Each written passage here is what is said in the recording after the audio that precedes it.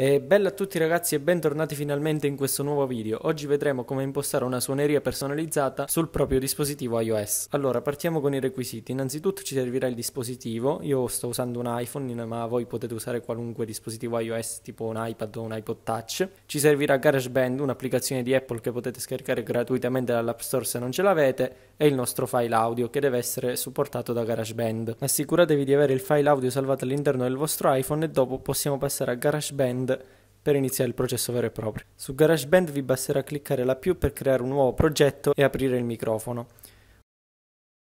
A questo punto cliccate sul pulsante qui in alto e vi si aprirà una schermata del genere. Cliccate sul più in alto a destra, aumentate il numero che vedete qui a schermo.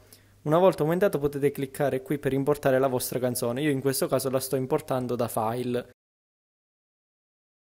Basterà fare un drag and drop e la canzone sarà importata. A questo punto diminuite il numero di eh, lunghezza a seconda di quanto è lunga la vostra canzone. Ora qui potete iniziare tranquillamente a tagliarla per creare la vostra suoneria. Vi ricordo che le suonerie possono avere una durata massima di 30 secondi.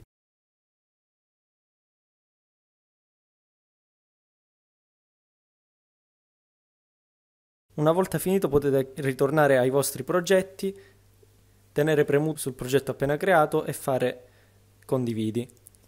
A questo punto cliccate come suoneria e fate esporta.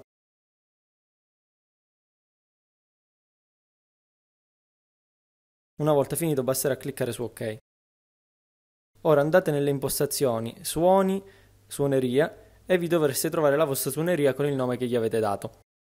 Bene ragazzi, io spero che questo video vi sia piaciuto, se fosse stato così commentate, iscrivetevi, mettete un mi piace e noi ci rivediamo in un prossimo video.